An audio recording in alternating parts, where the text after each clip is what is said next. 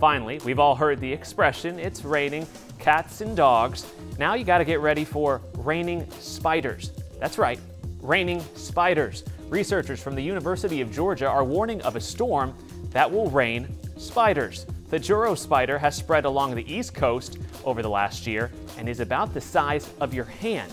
They're relatively harmless, but move through the air the same way as Spider Man. Kim, um, raining spiders, if that happened where we lived, you know, Absolutely just sort not. of, I'm out. I was I, Marcelino. You, I don't, I don't know if I can carry on with the forecast. That was a little too much for my heart to handle. Raining spiders? No. What would you do? What I just did. See ya. Well, you and me both. All right, goodbye. Just kidding. No, that's absolutely terrifying.